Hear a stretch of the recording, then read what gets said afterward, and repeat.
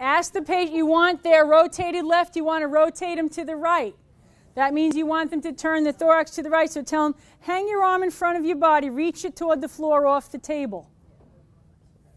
So he's going to reach forward. If you can't move him with your elbow of your palpating hand, ask him to reach himself. He could do it actively. Good. Wait till you feel the barrier.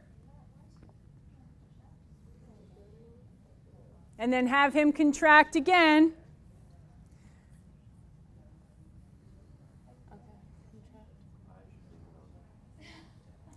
Push the feet up.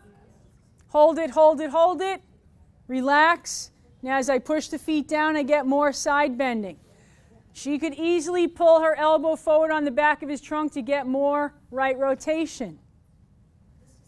You have your arm leaning against their back. This is an extension dysfunction. You want to flex them.